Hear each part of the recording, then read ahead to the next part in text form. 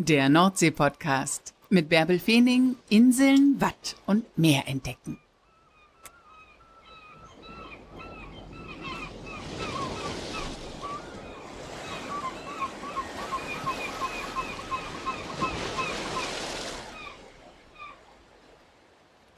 Moin und herzlich willkommen zur 194. Folge des Nordsee-Podcasts. Mein Name ist Bärbel Feening und ich nehme dich hier in diesem Podcast Woche für Woche mit ans Meer. Heute stelle ich dir mal ausnahmsweise keinen Menschen vor, der an der Nordsee zu Hause ist, sondern wir gucken mal kurz zurück, wie lange die Menschen eigentlich schon Urlaub an der Nordsee machen. Das ist ja jetzt so normal dass man mal eben für ein Wochenende ans Meer fährt oder im Sommer für einen Tagesausflug oder vielleicht auch für einen längeren Urlaub am Meer ist und es genießt, mit den Füßen im Spülsaum zu laufen, Muscheln zu sammeln, Burgen im Sand zu bauen, schwimmen zu gehen, zum Horizont zu blicken, all das, was diese Auszeit am Meer so schön macht das fing erst an im 18. Jahrhundert, denn da gab es die Erkenntnis, dass das Meerwasser gesund macht. Und zwar im englischen Brighton. Das schreibt Jan Wittenbrink im Nordseebuch, ein dicker Schmöker mit allen möglichen Fakten über die Nordsee, das ich jetzt euch hier mal ans Herz legen will. Und auf das, was Jan Wittenbrink alles recherchiert hat, beziehe ich mich in dieser Folge ein bisschen und schnack wahrscheinlich auch noch das ein oder andere so mit dazu. Aber ähm, wenn ihr das irgendwo an der Küste seht, und ich glaube, das gibt's in allen Buchläden, das ist wirklich ein, ein Werk, wo viele, viele nette und wichtige Informationen drinstehen, rund um die Nordsee. Also 1753 hatte der Mediziner Richard Russell die Erkenntnis, dass das Meerwasser gut tut und gesund macht. Und 1753 hat er im englischen Brighton an der Küste des Ärmelkanals eine Praxis eröffnet. Es war eine Praxis zur Heilung von Beschwerden durch Meerwasser. Brighton wurde dann zum ersten Seebad der Welt. Und das war natürlich dann eine Bewegung, die um die Welt ging. 40 Jahre später kam sie an der Ostsee an. Da wurde Doberan und Heiligendamm als Seebad gegründet. Das war das erste deutsche Seebad. Und vier Jahre später, also 1797, folgte dann Norderney. Und dann folgten ganz schnell 1804 Wangerooge und 1809 Spiekeroog. Was in keinem Seebad fehlen durfte zu der Zeit, auch ein Trend, der von England herüber schwappte, war der Badekarren. Das sind diese Holzkarren, die stehen auf einigen Inseln immer noch. Auf Wangerooge stehen sie noch, auf Norderney natürlich und auch auf Baltrum.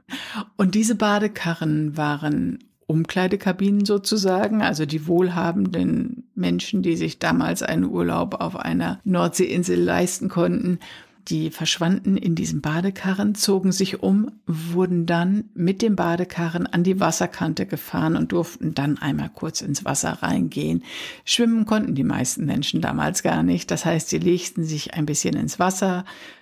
Achtung, Achtung, Achtung, nicht zu freizügig, es durfte nicht zu viel Haut zu sehen sein. Also es gab bestimmte Kleidervorschriften und dann nach dem stiegen sie wieder in den Badekarren und wurden wieder an den Strand gezogen.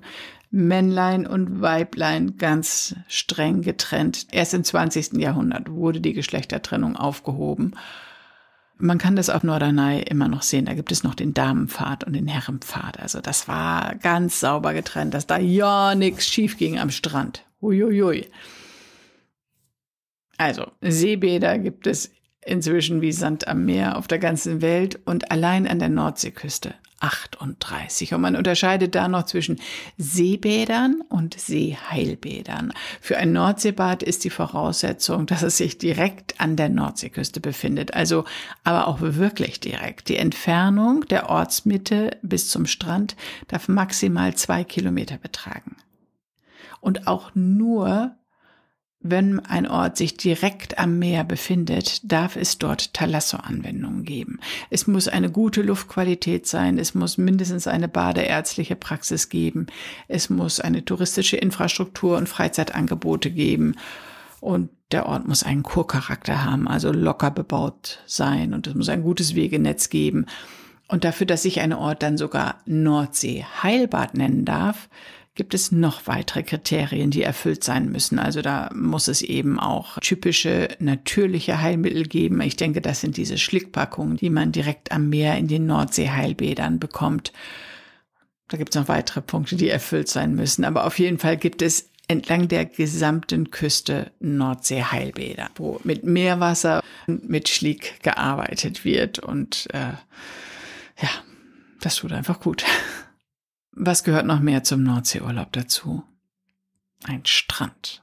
Für die morgendliche Joggingrunde am Strand, für Fitness am Strand, für Yoga mit Meerblick, für endlose Spaziergänge, wo man mit den Füßen im Spülsam läuft und so schön den Gedanken hinterherhängt oder für Ballspiele, für was auch immer.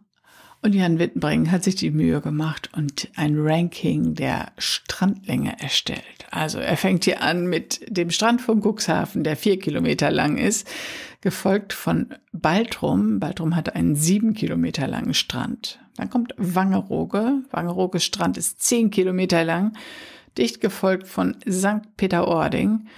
Der ist zwölf Kilometer lang, aber schon deutlich breiter. Dann kommt Langeoog. Der Strand von Langeoog ist 14 Kilometer lang. Und 15 Kilometer lang ist der Strand von Föhr, Amrum, Spiekeroog und Norderney. 17 Kilometer kann nur Jüst bieten. Was meint ihr, wie lang der Strand von Borkum ist? Ganz schön lang. 26 Kilometer. Und das wird nur noch übertroffen von Sylt. Sylt hat einen 40 Kilometer langen Strand. Welches ist denn dein liebster Strand? Es gibt noch so viele Strände, die jetzt gar keine Erwähnung gefunden haben. Vielleicht hast du einen liebsten Strand. Schreib mir das gerne auf Instagram oder Facebook. Und überhaupt folgt mir da auch gerne, um weitere Informationen zu bekommen. Das hier ist eine kurze Folge heute, weil ein anderes Thema sehr kurzfristig krankheitsbedingt weggebrochen ist. Passiert, passiert nicht häufig, aber so haben wir mal ein bisschen in diesen Nordseeschmöker geguckt und ein bisschen was über die Geschichte des Urlaubs an der Nordsee erfahren. Wo auch immer du bist, pass gut auf dich auf und komm einfach nächste Woche wieder mit mir ans Meer. Tschüss.